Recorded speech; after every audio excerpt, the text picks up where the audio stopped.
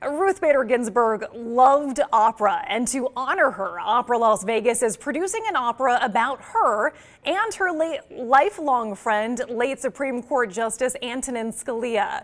Now, it'll be about their friendship that many found surprising because of their differing opinions on the bench. Scalia Ginsburg will be held between July 8th and 11th of next year.